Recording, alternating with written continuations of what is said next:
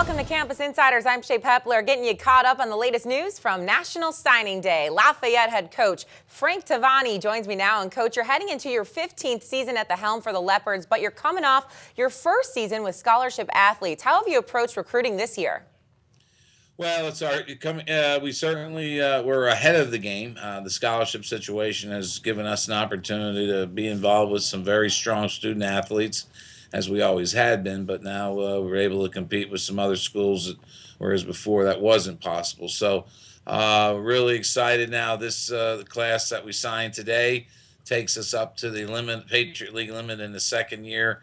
Uh, for those of us catching up to Fordham at 30, so that's where we stand, and uh, very excited about that uh, and the class coming in. Well, looking at this current class of commits, what kind of impact do you believe they can make on your program? Well, I, I think uh, you know our depth has improved with last year's class, and quite a few freshmen were able to impact the program. I think the place where I anticipate this group impacting the the most is in special teams. I think it's a very athletic group, uh, some outstanding speed in the group, and the type of guys that uh, and athletes at skill positions that we look for and to certainly strengthen us in the special teams area. But it certainly improves our depth, our overall team depth. All right, Coach Tavani, thanks so much for the time. Good luck with the rest of today and the season ahead. Well, thank you for your time and uh, have a great day.